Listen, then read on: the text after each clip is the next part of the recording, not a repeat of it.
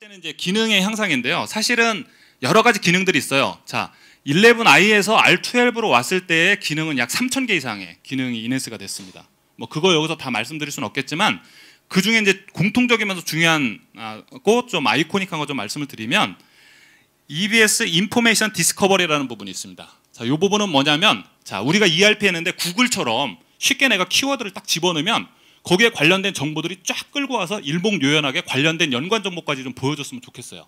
자, BI에서도 사실 이게 좀 어렵거든요. 예, BI는 데이터 모델링이 사전에 필요하죠.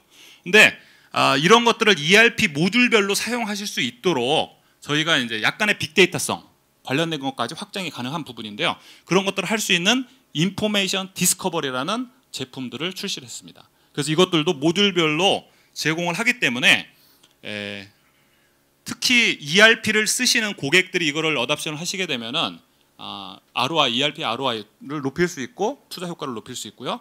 그다음에 이제 생산성, 업무 생산성을 높일 수 있는 그러한 좋은 기능들을 가지고 있습니다. 여기 보시는 바와 같이 어, 처음에 이제 이거를 사용하시게 되면 관문 ERP가 이렇게 됩니다. 그래서 모듈별로 이렇게 들어가시게 되고 여기 검색을 할 수 있는 강력한 검색 엔진이 들어가 있어요. 여기서 내가 ERP에 관련된 거 검색을 하겠다. 그럼 유관 정보들이 여기에 다 나옵니다. 관련된 그리고 또 필터링도 가능합니다.